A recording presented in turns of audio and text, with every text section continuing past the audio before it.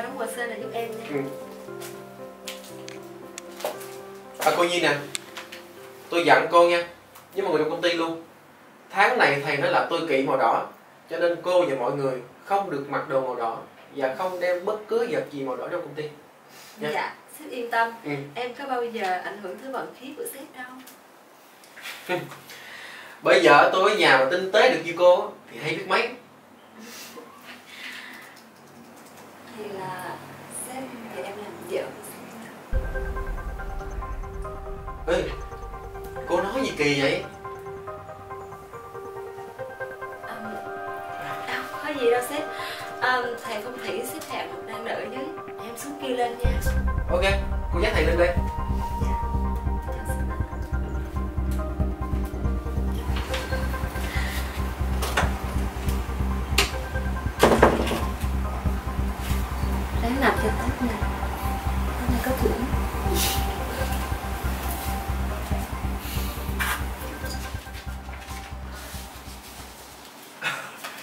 Dạ, con chào thầy. Dạ, con mời thầy ngồi ạ.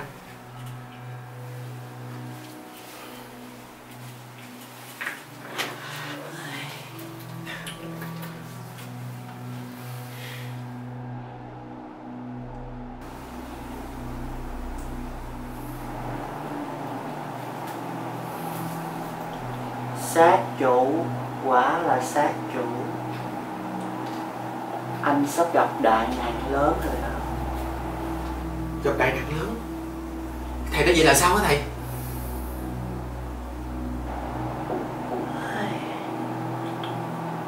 người vợ của anh. Cô ta có số sát phu rất là cao. Trước á là kiềm hãm sự nghiệp của anh. Còn bây giờ á lại sắp mang đại họa sát thân tới cho anh nữa đó. Thầy ơi Có thật là vậy không thầy? Nhưng mà Sao lúc trước mới cưới cô ấy về Cho tới tận bây giờ Cô ấy mới khắc mạng với con? Thật ra trước giờ vợ của anh đã khắc với anh rồi. Nhưng cũng may mắn là trong công ty anh có một cô thư ký mệnh hợp với anh luôn mang đến cho anh sự may mắn. Nên anh mới tránh khỏi cái sự khắc khổ đó. À, Thì ra là vậy. Nhưng mà Thầy có cách nào Để giúp con vượt qua cái tai nạn này không thầy? Chứ con không thể nào mà mất tất cả một cách dễ dàng như vậy được.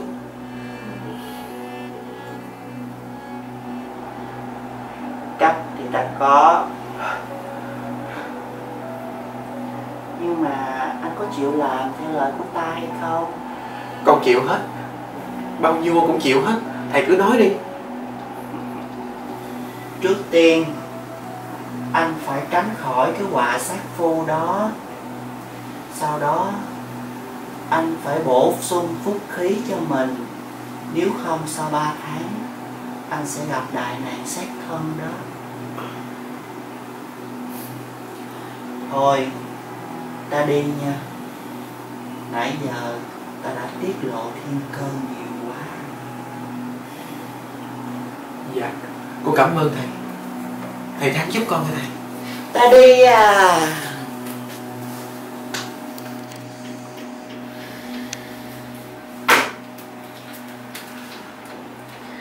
Sếp Có chuyện gì mà sếp lo lắng quá vậy? Em có thể giúp gì sếp Tránh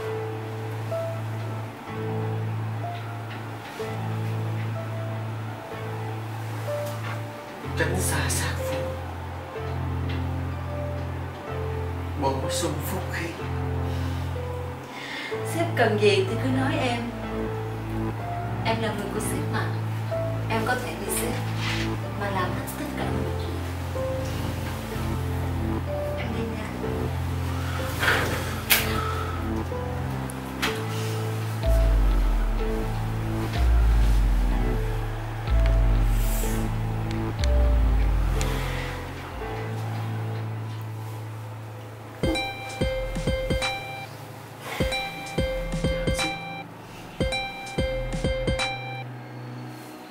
alo. Tôi đã nói với cô rồi. Cô là loại gái sát phu. Đừng có hòng mà quay lại nhà tôi dù chỉ là nửa bước. Khôn khôn dọn hết đồ đạc mà đi ra khỏi nhà tôi đi. Đừng bao giờ tôi được mặt lần nào nữa hết.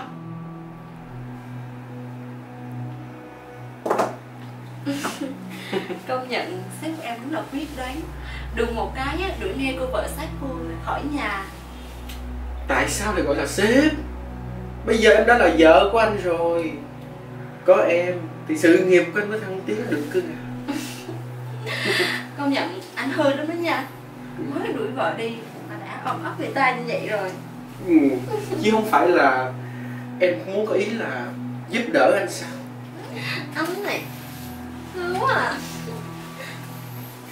Em giỏi lắm. Anh sẽ thưởng cho em nha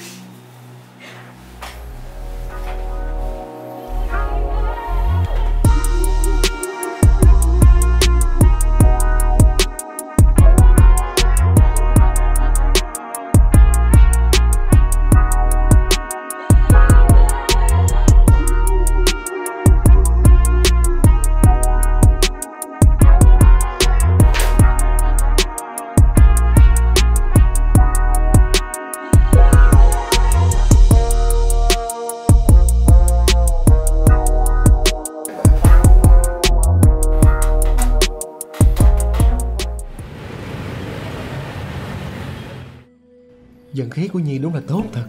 Lần này phải tạo cho cô ấy bất ngờ mới được. Hư nè. Hư nè. Hư nè. Sao này anh yếu quá vậy.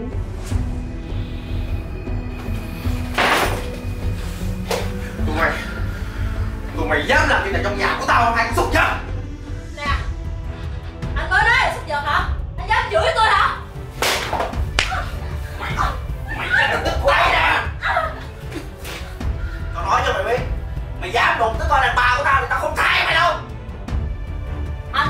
tiền để chúng tôi bào ra.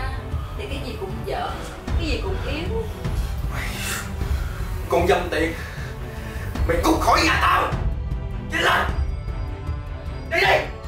Nhà của anh. Đây không còn là nhà của anh rồi. Nghe cho rõ đây. Từ đây Nó là nhà của tôi. Mày. Mày quên rồi.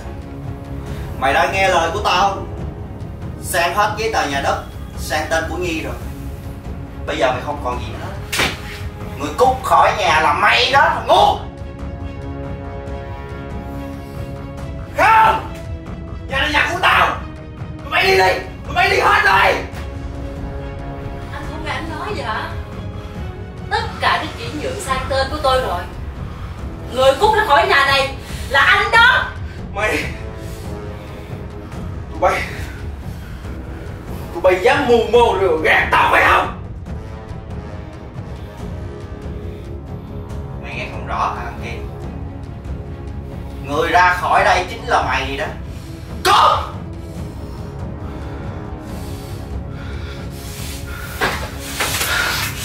trời